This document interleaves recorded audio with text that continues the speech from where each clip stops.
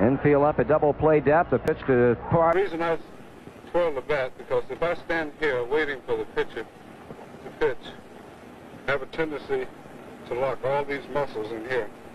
My forearm, my wrist, my hands.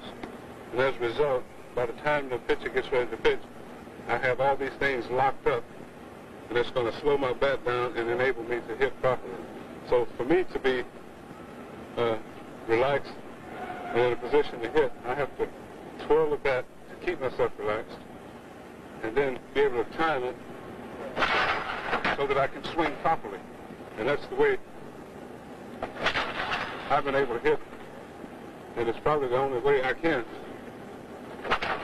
Do you ever have a tendency to have anybody try to quick pitch you while you're in the middle Yeah, of but I that? can I can invariably uh, time a pitcher from the on deck circle.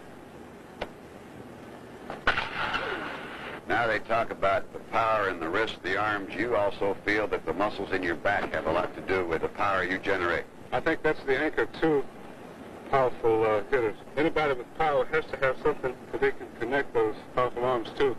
It's like a spring action. One offsets the other.